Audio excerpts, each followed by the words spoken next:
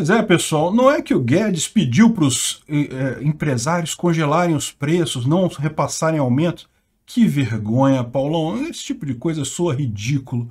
Essa notícia foi sugerida por Não Coube, Papai Noel e mais um monte de gente. Obrigado ao pessoal que sugeriu a notícia, obrigado a você que está assistindo o nosso vídeo.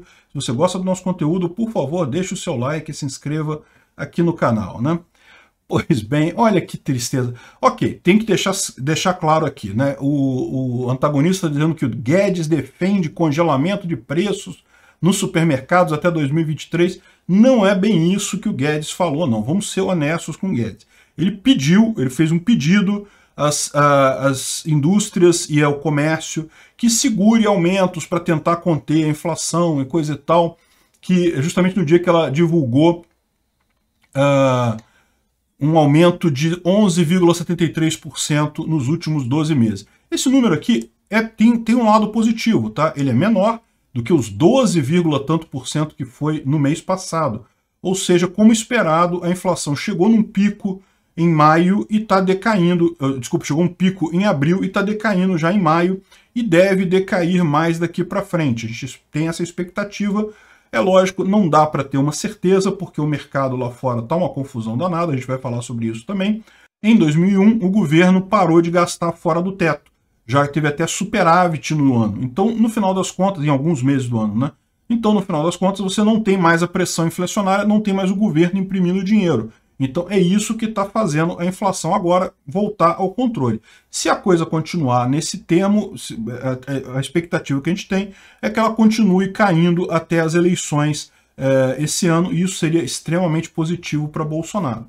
Então, ele falou aqui que, olha só, nova tabela de preço só em 2023, vamos parar de aumentar aí, dois, três meses, não estamos em, nós estamos em uma hora decisiva para o Brasil, afirmou o ministro. Ou seja, o que ele falou foi um pedido que ele fez, ele não, fez, não, não congelou o preço como o pessoal da Argentina fez e coisa e tal.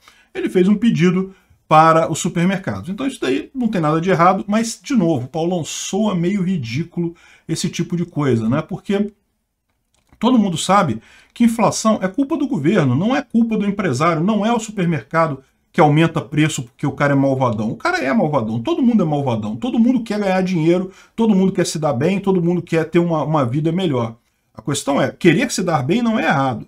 Errado é você querer se dar bem trapaceando com os outros. Isso é que é o, o, jeitinho brasileiro errado. Querer se dar bem, querer sair bem no negócio, todo mundo quer. Desde que você não sacaneie ninguém, é perfeitamente válido. Agora, é, é, dono de supermercado é malvadão, quer aumentar o preço? Lógico. Ele só não aumenta mais porque ele sabe que se ele aumentar o preço, ele perde cliente. Curva da oferta e da demanda. Então é isso que equilibra uh, os preços no final das contas. E o que, que causa a inflação? O que causa a inflação é o governo imprimindo dinheiro, porque o governo imprime dinheiro, automaticamente é, o, o número de bens e serviços disponíveis para ser comprado com aquele dinheiro não mudou é, na, na, mesma proporção, esse dinheiro vai valer menos no final das contas. Ou seja, você vai precisar de mais dinheiro para comprar a mesma coisa, o que é um aumento de preço daquela coisa. Isso é inflação. Inflação é quando o governo imprime dinheiro. O resto todo, o pessoal fica no papo de, ah, não, inflação do tomate, inflação do petróleo. Não, quando, quando o petróleo aumenta de preço, e, e é o caso que a gente está vendo agora, o petróleo aumentando de preço, de fato você é, é, tem um aumento de preço. Por quê? Porque teve uma oferta e demanda, a, a demanda ficou a mesma, a oferta diminuiu porque a Rússia não está podendo mais vender, então você tem esse problema e aí o preço sobe, é natural. Isso não é inflação. Isso é aumento de preço decorrente das forças de mercado normais. O que é inflação é quando o governo imprime dinheiro e aí causa aumento de preço em toda a cadeia produtiva. Muita gente acha assim, não, mas o petróleo também, se aumentou o preço do petróleo, vai aumentar o preço de tudo, porque tudo usa caminhão e coisa e tal. E não, isso é falso, nem tudo usa caminhão para transportar.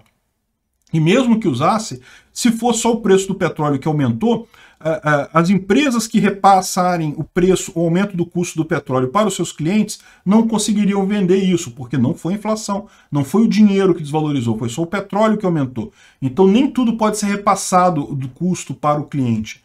Então, no final das contas, não, se tiver só aumento do petróleo, não causa aumento inflacionário geral. O que causa inflação é uma coisa só.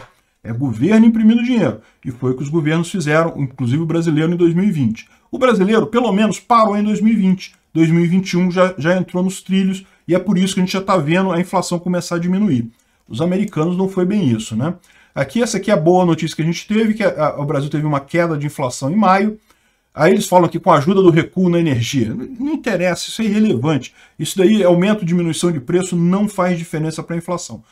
A única coisa que faz diferença para a inflação é o governo imprimindo dinheiro. O resto todo ah, vai ter alguma diferença? O fato da energia ter aumentado de valor, isso quer dizer que vai ter algum impacto? É lógico que vai ter algum impacto. Mas como eu disse, ele é contido, ele é pequeno. A única coisa capaz de, de, aumentar os preços em geral para todas as coisas é justamente a inflação.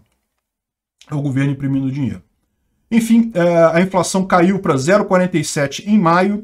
Repara que é, ela estava em 1,6 é, em abril, então foi muito alto em abril. Caiu também em relação a maio de 2020, ou, desculpa, de 2021, que em maio de 2021 teria sido 0,83%.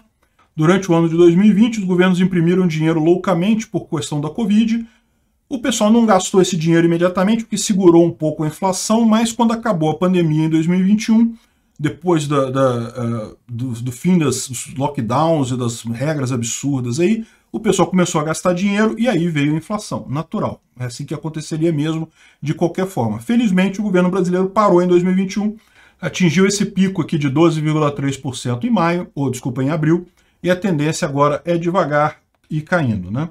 Veja, isso não quer dizer redução de preço não, tá? Preço não reduz, ele aumenta menos.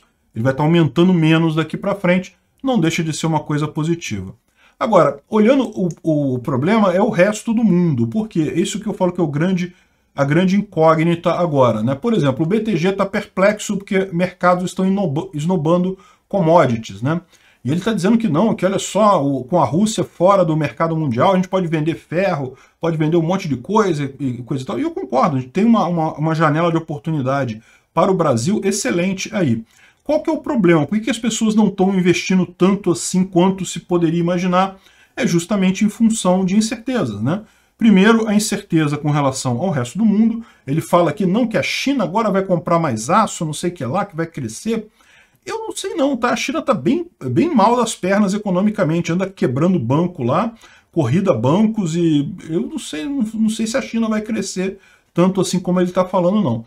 É, o, e o resto do mundo também. A gente está vendo aqui as bolsas de valores nos Estados Unidos fecharem em queda, porque a inflação de lá, ao contrário do Brasil, eles não pararam de emitir dinheiro, a inflação de lá está crescente. Né? Isso é um problema grande para eles. E lembra, virando, sendo um problema grande para eles, acaba sendo um problema grande para a gente também, porque no final das contas desarranja a economia do mundo todo e isso pode afetar o Brasil. A situação econômica do Brasil está mais arranjada do que se poderia imaginar, mais arranjada até do que muitos países no resto do mundo. Parabéns ao Bolsonaro e ao Paulo Guedes por isso. A coisa tende a melhorar para lá, mas a gente tem o risco, o resto do mundo aí até as eleições. Vamos torcer para essa bomba não explodir na mão do Bolsonaro aí, porque é, isso pode gerar problemas. Se a economia for mal, eu acho que é a única chance que o Lula tem, ou que alguma outra pessoa tem, de tirar essa eleição do Bolsonaro. Né? Agora, independente de qualquer coisa, pô, Paulo, pô, Paulão, esse negócio de falar de segurar preço, cara, para com isso. Isso fica meio ridículo. Obrigado por assistir o vídeo até o final. Além de curtir, compartilhar e se inscrever no canal, considere se tornar patrocinador com valores a partir de R$ 1,99 clique no botão Seja Membro abaixo para saber as condições e vantagens de patrocinar o canal. Mais informações sobre o nosso projeto, visite nossos sites indicados na tela.